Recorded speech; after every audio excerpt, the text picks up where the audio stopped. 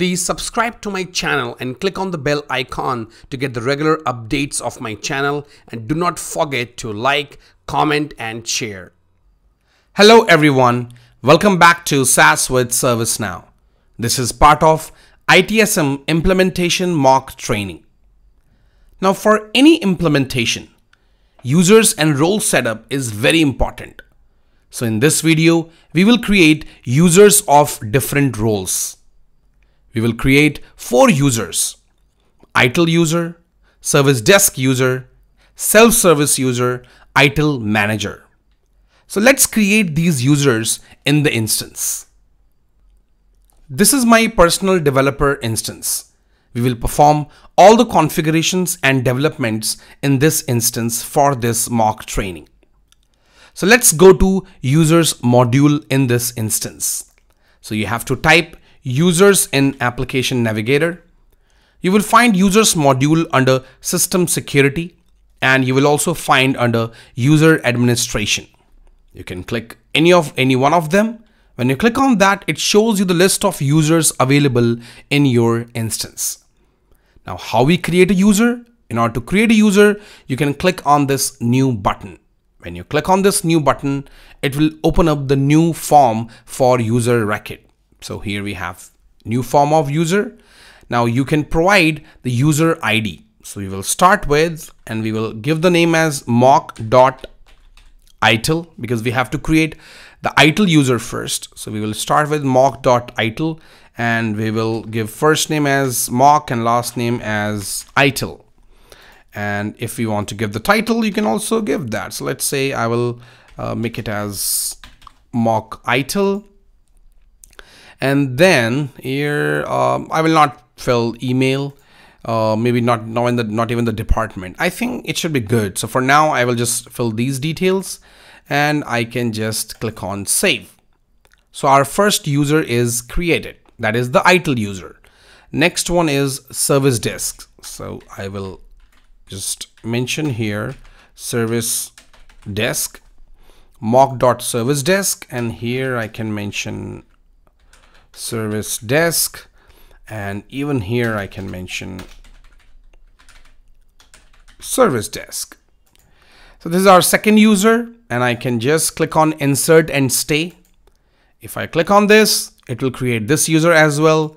Then we will create third user that is self-service. So we will type self service.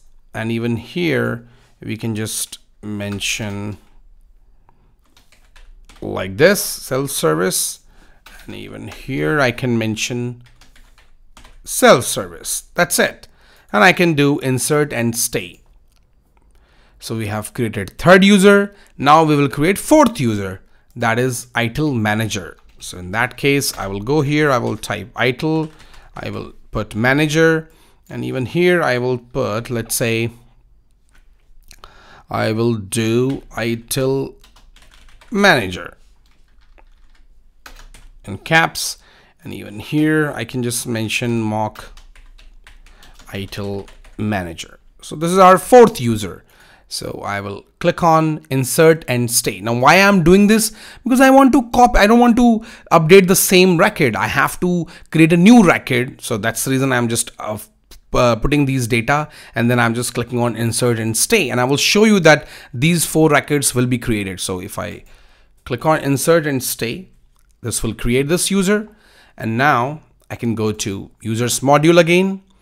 And I will show you these four users in the list of users table. So if I click here again yep so we have here and if I sort it by updated so you will see yep we can see we have four users ITIL manager self-service service desk mock ITIL so now you have created all those four users. So user setup is completed. But if I talk about in your actual instance in your actual instance, you might get this user's data from other external sources. It could be via integrations or some other transformations. So you have to import that data into ServiceNow. A lot of organizations, they import the data maybe from HR systems or any other systems where you basically keep all the employees data. You have to remember one thing that user ID is something very unique because it has to be unique which is also used to log into ServiceNow. And another important piece is that that when you fetch the data from external systems you just you don't just update these fields like first name last name or title. You also update other fields like email uh, phone number uh, department and and even more details if you have any uh, so that's something you can definitely update it from external system now, once you are done with creation of the user, another piece is because user setup is completed, but user setup will be called 100% completed when you actually assign the roles because that is really important. So in that case, we, we have created four users and important point is that they should have right role so as of now, we have just created it, but they don't have any role. So they are just like a simple user, like a self-service user. In order to give them the right access, you have to add the roles. So for that, what I can do, I can just quickly go to mock ITIL first. And in order to provide access to this user, I can quickly do, go to the related list and I will click on edit and I will add ITIL role. So here I will just mention I will just search for that ITIL role. So I will mention ITIL and I will click on save. So this user will have ITIL access and it will also inherit other roles as well, which are basically inherited in ITIL uh, role. So that's added in this particular user. I will go to the users again. And then I also want to add an ITIL manager. So I will open ITIL manager and I will give that role to this user as well. And basically this is how you add role to a user. But you have to remember one important point that if I talk about the best practice, you should not add role directly to a user. As per the standard practice from ServiceNow, you should always add a role to a group and that group should have those users. So if I, as I mentioned that as per the standard best practice, you should always add roles to the groups, not users directly. But I, am just showing you that how exactly you can provide the access. That's the reason I'm just adding these roles directly to the users. So we have added ITIL role to ITIL manager, ITIL.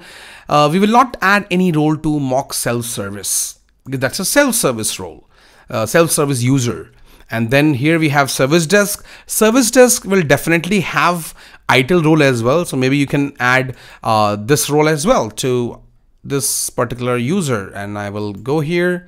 So maybe I will add ITIL role to this user as well, service desk. But self-service, ideally not because self-service is just like an end user who should not have any other access. Uh, so we will just keep it limited.